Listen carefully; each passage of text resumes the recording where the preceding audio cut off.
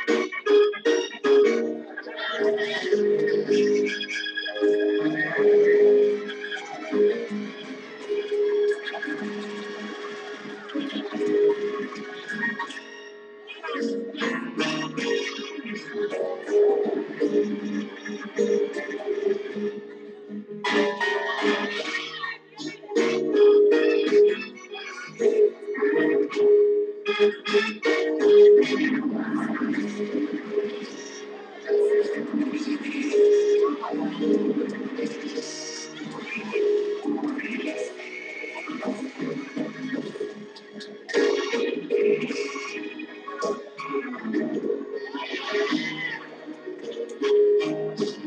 you.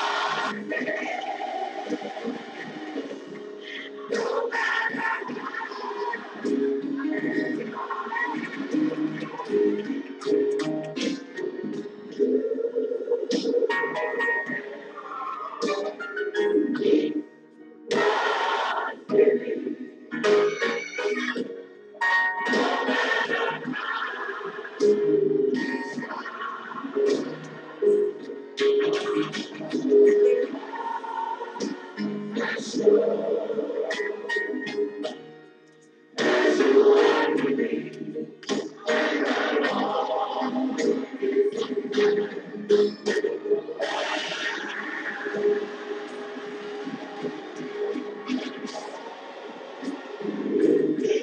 you.